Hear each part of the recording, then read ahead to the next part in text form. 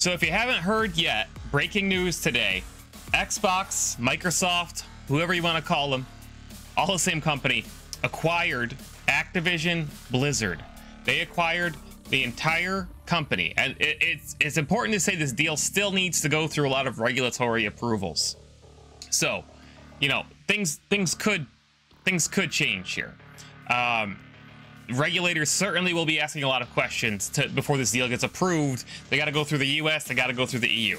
But let's break this down, and I'm going to cover many, many aspects of this because this is a truly, no matter what side you, you know, if you're if you're a console of if you like a certain console or a certain platform or certain types of games, this news affects everybody. This is literally one of the biggest gaming news stories in history. So Activision was bought by Microsoft for 70 billion dollars. So to, to put that to put that in what, what's the word I'm looking for? Size, I, I guess to put it what's the word I'm looking for? Not ratio, perspective. To put it in perspective, uh, the largest gaming related acquisition ever just happened last week. It was it was uh Take Two buying Zynga for almost 13 billion dollars. That was the previous biggest gaming acquisition ever, 13 billion. Today, Xbox buys Activision Blizzard for 70 billion dollars. So, let's unpack this here. So we all know that Microsoft and Xbox have been buying up development studios, and we thought when they bought Bethesda, Bethesda was what? I think an eight or nine million dollar acquisition. Billion. I'm sorry, not million. We were, we were all like, this changes the game, right? Like this changes everything. Like they've been buying all these individual studios. Now they bought an entire publisher, and they brought ZeniMax. They bought they brought id Software. They brought uh, Machine Games.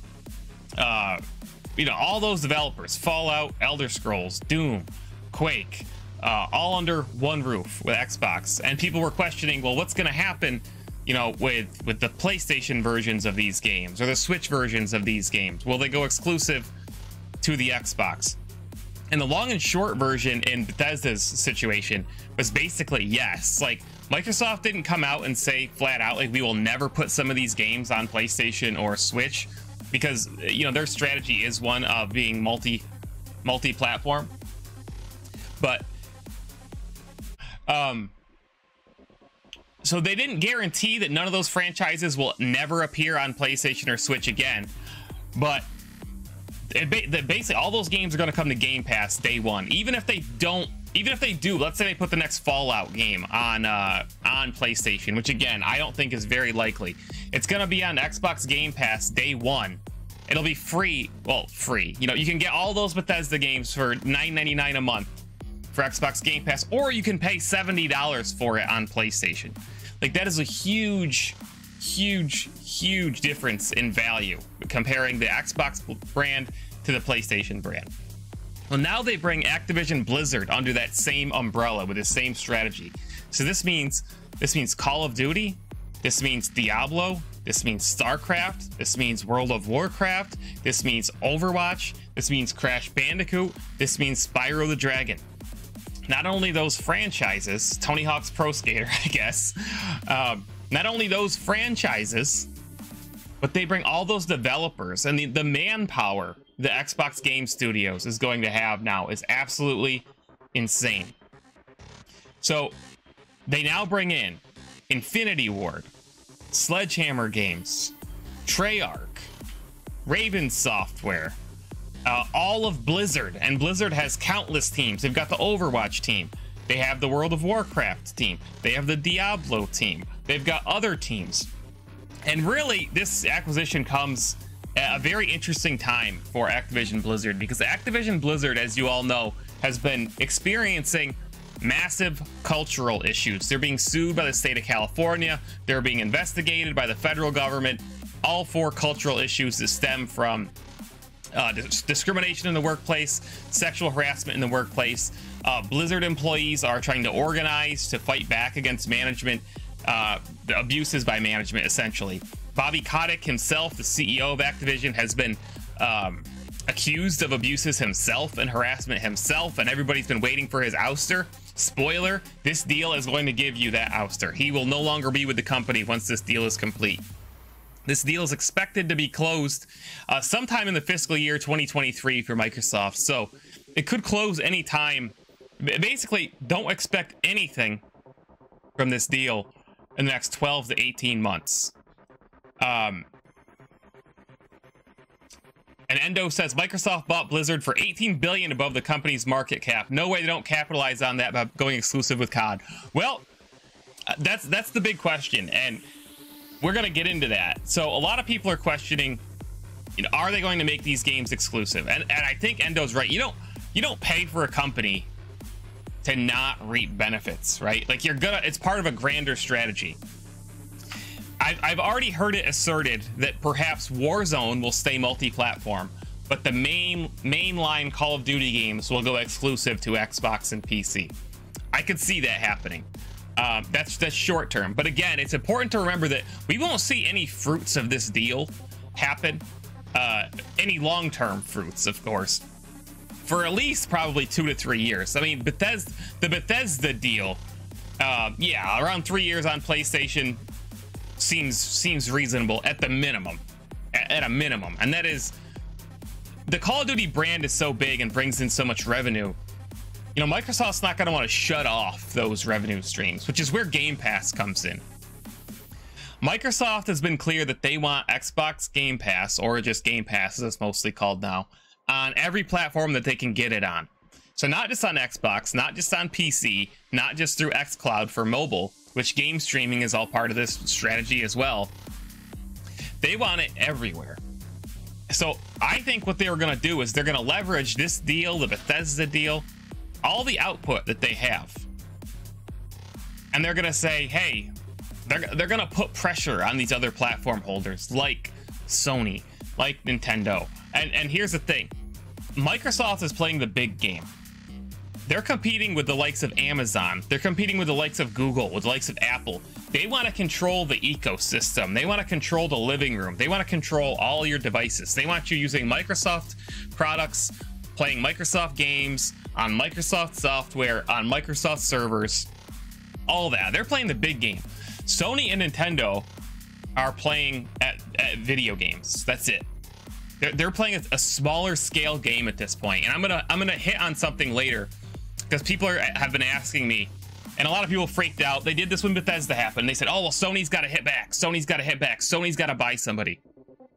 Sony has been buying up smaller developers. They bought Insomniac and got one of the deals of the century there. Insomniac is a great developer, and they got him at a very fair price. Um, so, my wife is like frantically looking for our cat, I think, and it's scaring me. Um, so anyway, Game Pass, what they're going to do is they're going to say, hey, the next Doom game exclusive to Xbox and PC, and it's on Game Pass. The next Fallout exclusive to Xbox and PC, and it's on Game Pass. The next Elder Scrolls, Elder Scrolls 6, Starfield, right? And then now when you add all these these Activision Blizzard games in there, potentially the next Overwatch, potentially the next StarCraft, potentially the next Warcraft. Uh, all these, the, the next Diablo 4, Diablo 4's release is far enough away. Hypothetically, that could become a PC and Xbox exclusive. Oh, I think that one will happen. Probably not. I think it's a little too soon, but you never know. Um, so they're going to take all that and they're going to say, hey, PlayStation, hey, Sony, you want these games? That's fine. Let us put Game Pass on PlayStation and you get them all. All, all your user base can get them all. And how what they get from that is they got they literally have Sony's user base paying for a Microsoft subscription service. Like it, it makes so much sense. And again, the value of paying for Game Pass on any platform, it, it makes paying $70 for a game on, on any other platform seem absurd. And they're they're getting like Microsoft is becoming a AAA gaming powerhouse. It's absolutely insane. Sorry, my wife just found the cat. It's freaking me out. So, Um, a lot of people, you know, are, and I'm, I'm gonna bounce all over the place here. Let, let's go back to, hey, Ultimate, let's go back to how this can be really good for, well, obviously this is a power move by Microsoft. We know what Microsoft has to gain here, right? Like they gain all these franchises, all these new development studios. Xbox Game Studios has got to be between like what what is it like over 30 studios now, right? There is no bigger gaming company out there. The only one that would rival it, I think, is Tencent as far as actual manpower and production goes, which is a whole nother thing. Um, oops, let's flip flip my screen on accident. So th this comes at a very good time for Activision and Blizzard. Not they've been going through all these problems, major, major, major problems, and I got into this a little bit earlier. With Xbox now coming in and, and Microsoft coming in, Microsoft and Xbox have been known. It's, it's really been the Phil Spencer moniker, who got a promotion, by the way, in this deal. He is now CEO of Xbox, no longer president. He's CEO of Xbox they've been known for good management to let creativity thrive uh, to to you know let developers do what they want to do. Not not to micromanage but to say do what you do best. We are going to empower you. We're going to give you bigger budgets. We're going to give you the resources and the infrastructure that you need. And this is your this is going to be you know working under xbox is going to be your studio fulfilled. We're going to give you everything that you need and you just make games we're going to put them on Game Pass, and the output of Game Pass is going to be insane. Microsoft is going to be able to release like a AAA game, a first party AAA game on Game Pass, like like every month at this point. Once this deal is done, it's absolutely insane. And I'm still predicting that they acquire at least one more company in the next one to two years. I think they're going to acquire a Japanese company, not this size, most likely, but they will acquire somebody in Japan because they want to establish a bigger foothold in Japan. Mark my words, Microsoft will buy a Japanese company. Which one will it be? I don't know, but I hope it's not Sega. Anyway, that's all I'm going to say. Please be Bandai Namco. I didn't think about that one. Bandai Namco does have a pretty big footprint. I don't know what the value of that company is, like monetarily, but I could see that. That I could, dude, that would probably be the best one for them actually, because a lot of people look at Square Enix, you know, because it's Square, Final Fantasy, Dragon Quest. Um, and a lot of people always say Capcom, you know, Resident Evil, um, you know, all that stuff. Mega Man, Street Fighter. I think Bandai Namco would be the one to have the biggest actual, like, cultural impact. I think that's a really good point, Endo. Um, but so anyway, Activision Blizzard is an absolute mess right now. Call of Duty is having server problems, it's having cheater problems. World of Warcraft has been run basically into the ground by, by the developers who made a, a really uh, unfortunate expansion. They've kind of ruined the lore in a lot of ways. Um, and the subscriber count is way down as many people have moved on to Final Fantasy. My ring light is facing the wrong direction, I just noticed too. Great production. I was too excited. I just got online. Um, so, all Overwatch 2, right? In development hell. Uh, they, they made a sequel to a game that should have been a live service game that was doing extremely well, had a major, major, major esports presence with Overwatch League. And now we've we've heard almost nothing about Overwatch 2. It's been announced, we still don't have it. We know almost nothing about it the, things that Activision Blizzard are not good. They're actually very, very vulnerable, despite being one of the most valuable video game companies out there. These brands still have strength, but they've made a lot of missteps on top of their actual cultural and management issues. So now Xbox comes in. And and what Xbox has been known for is saying, hey, uh, you know, you do you. We're going to give you everything that you need. And I still think they're going to say that. But I think them coming in is going to be very liberating for the developers of, of especially Blizzard because they're going to say, all right, make the games you want to make. And there are countless, countless games that Blizzard wanted to make, and the developers left Blizzard because Activision would always cancel their games for the, the stupidest reason. So, so Activision's big thing was, unless this game can become a billion, a billion dollar game, we we will not fund it. We will not go through with it. We will not greenlight it. And countless games died on that hill within Activision. They were working on a StarCraft FPS which was going to be like Battlefield. So imagine uh, Battlefield, but set in the StarCraft universe, futuristic. Uh, it was going to be big, big, large scale multiplayer FPS set in the StarCraft universe. Canceled. Um, there was a Warcraft AR game for mobile that may or may not still be in development, but what, from what I've heard, it basically ceased. Canceled. Uh, there's been a lot, lot of other games and a lot of other major developers who have left Blizzard because they can't make the games they want. Anything StarCraft. Where is StarCraft 3? Because RTS games can only make a few hundred million dollar profit and not a billion because they're not super easily monetizable, Activision has not approved it. Warcraft 4, the RTS, have not approved it. So I think with Xbox and Microsoft coming in, they're going to say, yes, Blizzard, you can finally make the games that you want because we're going to put them on Game Pass and they're going to be a success. And I think this is going to be very, very, very liberating, especially for the Blizzard side. I, I'm come from a background of being a, a Blizzard fan, and all these issues have really stung to see the, the abuses that have happened there.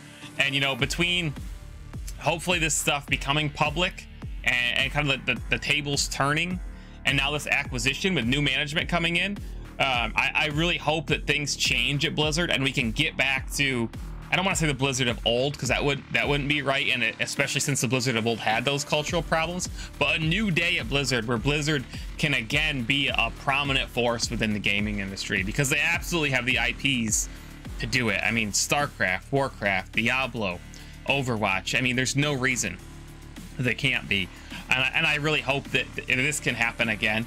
Um, and, and also, you know, Microsoft gains a mobile gaming foothold here, which has been one of the holes in their strategy. So they get King as part of this deal, who owns, yeah, Lost Vikings, uh, who owns uh, Candy Crush is their most prominent property, but they've made a lot of other games. If you go check out King, uh, they make a, they've made a lot of mobile games, including a Crash Bandicoot mobile game. Um, so they get Call of Duty Mobile, which is a monster so Microsoft gains in the mobile market. This this kind of kickstarts them in the mobile market because they've been they've been a little behind there compared to the other areas. Uh, and I think their cloud streaming strategy fits into covering the mobile market as well, since you could uh, stream cloud xCloud to any mobile device. Uh, they got issues with Apple there as well, but they they they figured it out. Um, and then they also they gain a huge foothold in the in the esports space. So now, Xbox, all under one roof, they've got Call of Duty League, they've got Overwatch League, and they've got H HCS with Halo. So, I mean, it, if you consider like all the big major esports you expect to be around for the next 10 years, you think of what? You think of Call of Duty, hopefully Overwatch, right? If they can turn it around and make it prominent again, which they should be able to. You think of Halo, you think of Splitgate, right? Um, and then you you you also think of uh, Counter Strike. You think of League of Legends. You think of Valorant. Is there really any others? I mean, Microsoft. I'm not gonna say there's not any others, um, but those are the ones that come to mind for me, at least. Um, I I thought about the Bungie thing too, uh, Endo, and, and the thing about that is Bungie wasn't owned by Activision. They only uh, had the publishing rights. Activision only held the publishing rights to Destiny. So hypothetically, if Activision didn't botch that relationship, Microsoft would have acquired the publishing rights to Destiny, which would have been funny and insane. Uh, probably, uh, they could have. Yeah, they definitely could have brought Destiny in to, into the fold not only because Bungie developed uh, Halo, but because Destiny is one of Phil Spencer's favorite games. He's a huge hardcore Destiny fan. Um, so, uh, Endo asked what I think about potential antitrust issues. Uh, a couple things. So I, I think I think people regulators will ask questions. I think they'll get this one through. Um, and I think they'll do that by positioning the, the certain franchises like saying well we're not going to make call of duty strictly exclusive because that's the biggest one right we're not going to make call of duty strictly exclusive to xbox platforms uh, we're, we're going to keep that you know, like they're not promising to make these games exclusive. So I think they'll get it through. If they try to make another acquisition of this size, uh, I think then they might start getting in some in some trouble. But if you look at um, this is a very interesting stat that I saw. If you look at gaming, actual gaming revenue, as it stands right now, this is on Microsoft's side. So because Microsoft has only really started turning the tide over the past two, three years uh, with their strategy, because they came from a, a, complete place of weakness after the Xbox uh, One era, right? Um, especially at launch. They were not in a good spot. Right now, um, you know, Xbox is not leading the way as far as gaming revenue goes. When you talk about just gaming revenue, just revenue, um, Tencent is ahead of them. Apple is ahead of them because they take an insane cut from the iStore, uh, the Apple Store, iOS, whatever the heck you want to call it. And I believe uh, Sony is at least comparable to them, um, if not ahead of them at the moment. But that's because these Bethesda, this Bethesda thing hasn't kicked in, and this Activision Blizzard thing hasn't kicked in. So even after this Activision Blizzard thing, um, obviously three years from now we're going to be looking at a completely different story. But at this moment, I think the the monetary figures are there for Microsoft to say, "Hey, we're in we're in third, fourth, fifth place, man. Like, you know, we're we're not we're not a monopoly. We're not running away from everybody else here, even though." in the big picture, they very well may be. Um, but here's what I I'm gonna give you some hot takes here. So I've heard a lot of uh, PlayStation. I don't want to say fans or just people just who you know don't like that Xbox is becoming this huge con conglomerate. Um, say, well, what, what's Sony gonna do? What's Nintendo gonna do? Because the reality is, uh, you know, people are starting to wonder, like, can these other companies keep up without buying a bigger piece of the pie themselves? And again, Microsoft would say, yeah, you can have Game Pass. Just, just you can have Game Pass. Just let us put it us on your platform and you get all the games. And that's why it's so clever and aggressive at the same time. But people are saying, you know, what's well, Sony's got to buy something. Sony's got to buy Square Enix. Sony's got to buy Capcom. Sony's got to buy, uh, you know, whoever, right? Uh, so let me let me break something down for you. Uh, and this is this these are all unofficial numbers. So um you know, don't don't quote me on these. I'm not an actual business an, an analyst. Here here's Sony is worth and you get different figures, right? And again, there's what what is worth because um, you know Microsoft overpaid hypothetically for uh, for Activision. All of Sony, not just the PlayStation side, is worth somewhere between 110 and 150 million dollars or billion. I'm sorry, 110 and 150 billion. All of Sony, the entire company. Microsoft just paid 70 billion in cash. In cash for Activision Blizzard. So, and I'm not trying to knock Sony by saying this, but they're not in the same ballpark. They're not even in the same sport. Like to quote Pulp Fiction. Microsoft is worth, let's see. So, by comparison, uh, I'm not even going to do this math. 2,272 billion compared to 110 to 115 of Sony. So if Sony were to acquire a company for the size of, of Activision Blizzard for 70 billion, they would be expending almost their the entire value of their entire company. Sony, realistically, and I'm not trying to put them down. If they're two different companies with two different strategies and two different goals. I'm not saying anything about their the quality of their lineup or whatever. This is pure value. Sony is worth a fraction of what Microsoft is worth. They cannot acquire somebody for 70 billion dollars. And this is the problem that Sony runs into. And it, I really think that when when Phil Spencer took over at Xbox, I think he went to Microsoft because Microsoft's not afraid to kill off products. They've considered killing off Xbox at least twice in the past uh, when it was not doing well. They're, you know, they killed Mixer, they killed the Zune, they killed uh, uh, what the heck? Why can't I think of it? The Windows Phone. You know, if if a product's not successful, Microsoft will say, "Hey, this isn't meeting our standards. See ya." Um, and they did that with Mixer right after they spent a whole bunch of money and spent and signed Shroud and they signed Ninja. Uh, I think I think Phil Spencer went and he said, "Look, I have a plan to become to make Microsoft and to make Xbox the leader in gaming. The leader. We will dominate our competition, but we need to be no holds barred. We need to be aggressive, and I need basically a blank check, and we will take this industry by storm. And when I'm done, we will own it, like literally. Or we can, you know, cut our losses and and minimize things and just kind of be a, a niche company. Um, and uh, or or just get out altogether, sell the company to whoever, like they did with Mixer. They sold it to Facebook, and Microsoft said, "We choose violence. We we to to mean it, we choose.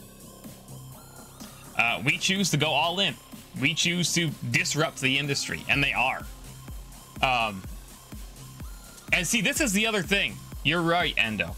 This is not about. People are looking at it wrong.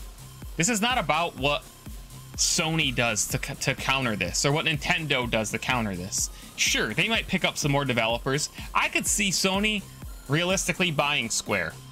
I could see them buying uh, a, a, a company. It would likely be a Japanese company because they would leverage those relationships.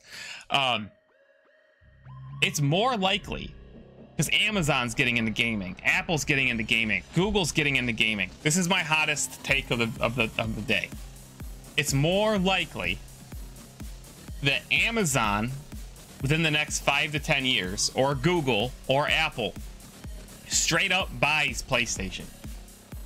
Or, or freaking Sony altogether. Microsoft just bought Activision Blizzard for 70 billion. What's to say Amazon doesn't come down and say, hey, PlayStation, we'll pay you 150 billion to become part of Amazon. And we're going to do the same thing that Microsoft is doing for their developers. We're going to unleash you guys. You guys make amazing cinematic third person action games. We love what you're doing. We love God of War. We love Uncharted. We love The Last of Us. You know, we uh, whatever. The whole the list goes on and on. Horizon Zero Dawn, Spider-Man, like you guys are doing awesome things. We want to we want to buy you and you would do you will do what you do best but we're going to empower you just like Microsoft is doing for their developers. And you won't have to. We'll take care of all your business side stuff. We're going to take care of, you know, managing your employees' health care and, uh, you know, all that stuff. You guys focus on doing what you do best. You make some video game hardware and we're going to we're going to we're going to build the PlayStation brand. It's just that that PlayStation brand is going to be part of Amazon. All the games you make are going to be on our new service, Luna, or uh, whatever. It's going to be on PlayStation as well. PlayStation's not going away, but we're going to put your games uh, in front of more people because you're going to have bigger budgets. Um, it very realistically could happen. Uh, Amazon or Google, uh, because Sony, Sony and Nintendo, Nintendo, Sony's got a very strong brand. They really do. So I'm not. They're not going anywhere. Like this is not a oh my god, PlayStation's going out of business tomorrow type thing. That's not what's happening. But if PlayStation 10, 20 years from now, uh, wants to continue to compete, they're going to need to strike some type of alliance, right? I've heard the theory that, hey, maybe Sony and Nintendo team up somehow. Great thought. Um, again, I, I don't I don't see it happening because of how feudal both of those companies are in the way that they operate. And Nintendo is, to their credit, playing their own game. And I would argue that Nintendo has the same issues that Sony does with the value of their, their ecosystem. They're asking people to pay 50 $60 per game compared to, uh, you know, Game Pass and all this stuff. And I think that's going to become more and more of a problem for Sony and Nintendo. Uh, but um, Nintendo has always done their own thing they're not they're not trying to compete with Xbox. They're not trying to compete compete with PlayStation. They are, right? But they've always got a, a new unique gimmick to sell you. and I don't mean gimmick in a negative way. I mean like with the Wii, something that breaks the mold, and that will always have a place in the industry, right? Um, they did the Virtual Boy, Virtua Boy, hundred years ago. Uh, not hundred, literally, but like you know, what I'm Nintendo's always got something. The Switch, you know, an, another unique thing. I, still think Nintendo would benefit greatly by having a business partner like Microsoft, like uh, Sony, like Amazon, like Google, who could give them a robust online and social eco ecosystem so their franchises like Mario Kart, like Smash, uh, like Splatoon could be fully realized uh, in uh, with on online games.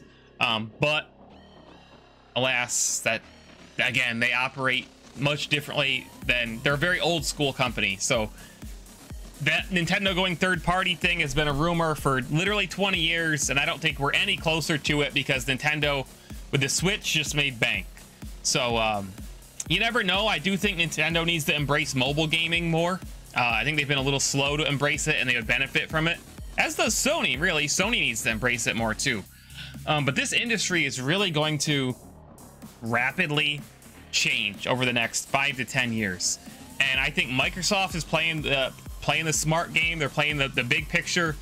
I think Amazon and Google and Apple are getting in, in on it. Um, they're going to get in on it and uh, Sony and I mean the whole industry is about to rapidly change. And I'm not saying that it's for it's for the better or worse. It's just it, it's changing and it's gonna change, and it'll be interesting to see now. Do a couple more dice uh, tip over, you know, a couple more dominoes tip over from this.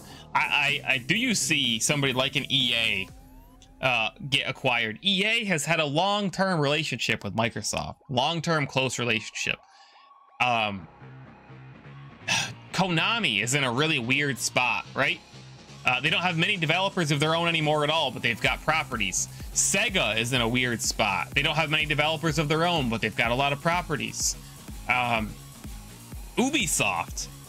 Ubisoft has a lot of, of uh, developers as well as properties, but they've been mismanaged over the past few years. They've really hurt their brand. They've had uh, management scandals of their own, harassment scandals of their own and uh, they've really had a hard time getting a foothold these last couple years. They've kind of misplayed the Tom Clancy games in a lot of ways. Uh, Beyond Good and Evil 2 is nowhere to be found.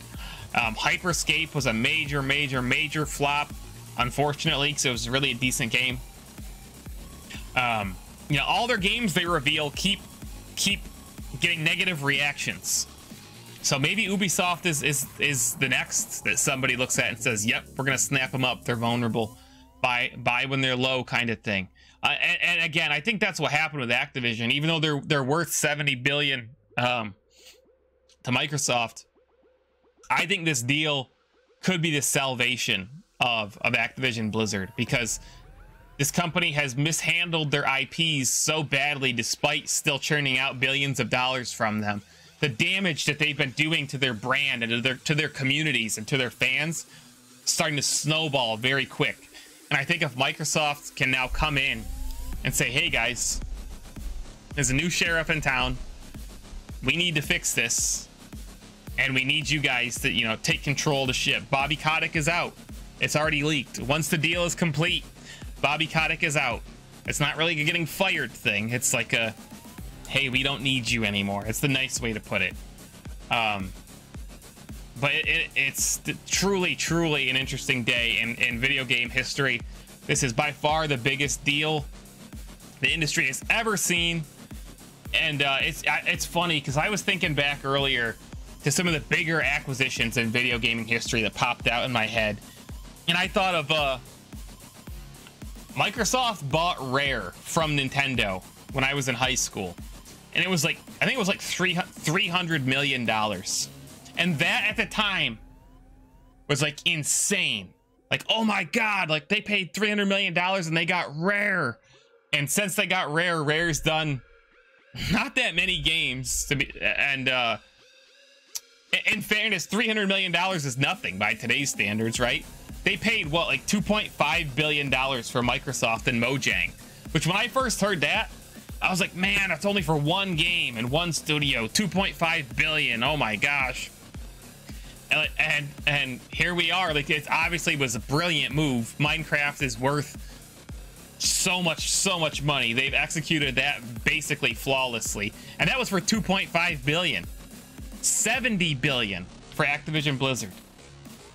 It's so crazy. But uh, again, you got to remember, not only are they getting Call of Duty, Overwatch, Diablo, uh, World of Warcraft. What am I forgetting? StarCraft, Warcraft, Crash, Spyro. They're getting all those developers as well to work on all those games. And, and a lot of people are getting excited at the thought of not only the crossovers that they can do, you know, Master Chief skin and Call of Duty, people are already calling for that, right? And some of those types of things you might see in the next one to two years. Those those will be easy. Um, but people are getting really excited thinking, wow, you could now have a developer from Bethesda come through and work on an Activision property. You know, you could have um, the developer of, of the most recent Crash Bandicoot make a Banjo Kazooie game. You could have, uh, you know, I, am trying to think of people did it when Bethesda came out too. You know, maybe maybe maybe id Software makes a Halo game someday, a very mature, dark or Halo game. You know, like people are getting excited, and some of that stuff's probably a little crazy, but you just never know. It, does open a lot of interesting doors and possibilities to that type of thing. Um, you know, Xbox Game Studios Smash clone seems like a, a no-brainer at this point, right? Like, gonna happen. Um, so, um, epic, epic, epic stuff. If you guys got other questions about this deal or thoughts, throw them in chat. I've been talking for 36 minutes, and uh, we'll continue talking about this deal because it's gonna be a big deal forever, and it's gonna be very interesting to watch. Um, but I'm to stop hitting the record button here for a moment. Stream's continuing. I was going to do this whole thing on Twitter Spaces and I totally forgot. We got more gaming news to go over today, by the way, believe it or not.